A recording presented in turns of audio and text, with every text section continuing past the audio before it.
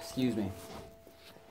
I'm still a little stuffy, but that does not stop me from stop playing the peep.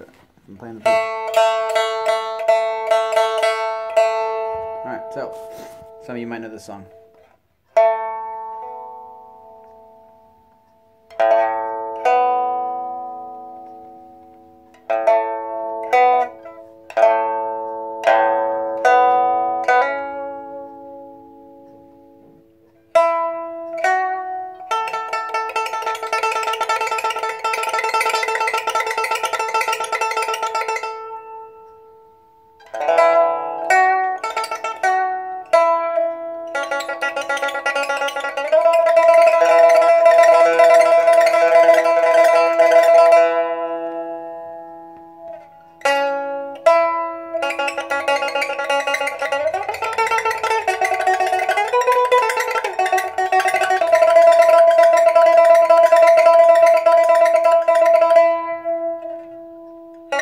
Thank you.